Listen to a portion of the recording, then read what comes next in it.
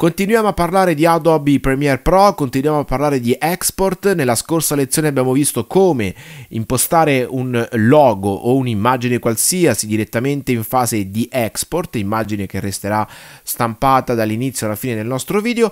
Quest'oggi andiamo avanti e parliamo della possibilità di stampare un timecode direttamente in fase di export sul nostro video. Ipotizziamo di voler condividere il nostro, il nostro lavoro con un collaboratore che magari vuole rivedere quello che abbiamo fatto per dirci ah guarda a quel minuto lì è sbagliato questo, ah modifichiamo questa per avere un riferimento temporale uguale per tutti utilizziamo i time code, codici di tempo. È semplicissimo da utilizzare questa funzione, molto simile alla funzione vista nello, nello scorso tutorial. Andiamo sempre qui nella finestra di export quando esportiamo un video, invece di utilizzare la tab video, tab audio, andiamo nella tab effetti.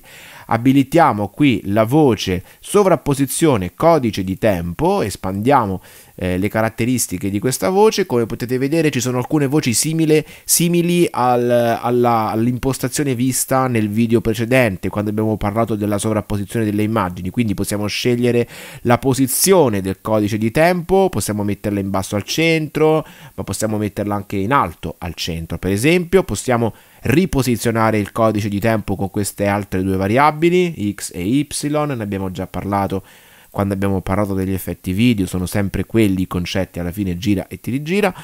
Abbiamo le dimensioni per fare il timecode più grande o più piccolo a nostra, a nostra scelta e abbiamo ovviamente l'opacità.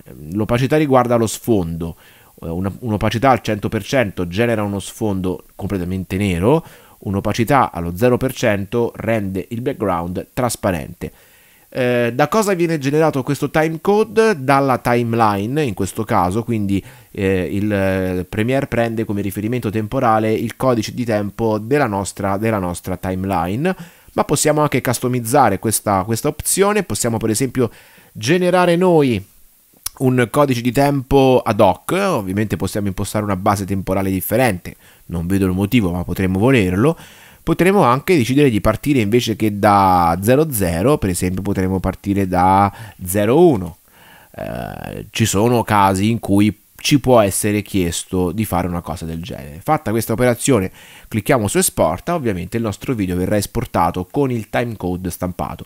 Avendo spuntato e impostato anche l'immagine in sovraimpressione, questo video avrà entrambe le cose, avrà sia l'immagine che il timecode esportati in un colpo solo.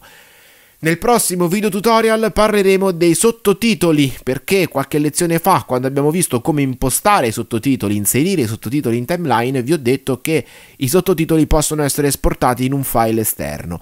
Bene, è possibile fare così, ma è possibile anche stampare i sottotitoli dentro il video in maniera indelebile, permanente. Per farlo utilizzeremo la tab sottotitoli, ma ne parleremo nel prossimo video tutorial. Per il momento www.fabiambrosi.it, sito dove troverete l'articolo articolo di questa lezione, oltre all'indice degli argomenti di questo corso, troverete anche il corso introduttivo ad After Effects per chi fosse interessato.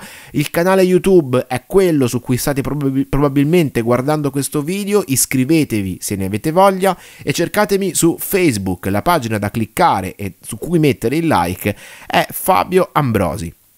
Per il momento vi ringrazio, al prossimo video tutorial. Ciao!